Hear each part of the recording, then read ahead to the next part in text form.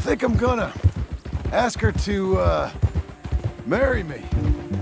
I got a ring. It was... It was Arthur's. I found it in a bundle of things that I've kept. You're marrying Abigail. Or eh, asking her, at least. Oh, my. I never took you for a romantic. No, me neither. But it's something I've thought about. And I... I think... I know. I want it. Okay. I guess I thought you were married already.